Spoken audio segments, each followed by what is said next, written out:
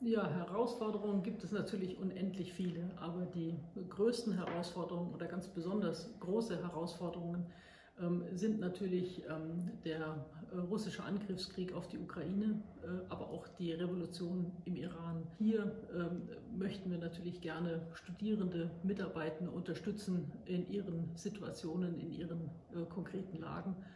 Und die indirekten Konsequenzen für die Universität Freiburg sind natürlich ähm, die Beschäftigung, die Herausforderung unserer Werte, Demokratie und Freiheit.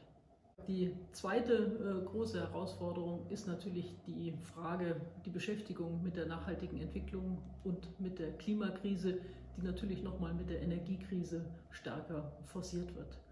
Es ist ganz klar, dass diese Krisen nicht durch einzelne ähm, behandelt und bewertet werden können, sondern gesellschaftliche Herausforderungen sind.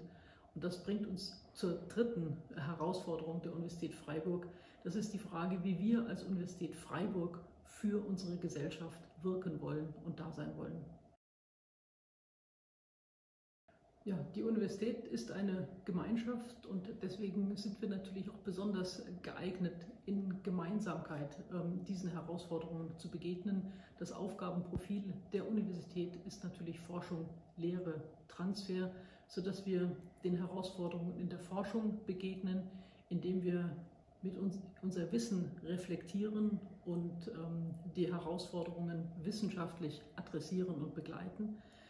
Die Lehre bedeutet, dass wir in unserer Lehre ähm, diese wichtigen Querschnittsthemen auch adressieren müssen und damit MultiplikatorInnen zum Beispiel zum Thema Nachhaltigkeit ausbilden können, motivieren können, die dann diese Informationen und dieses Wissen in die Gesellschaft tragen können.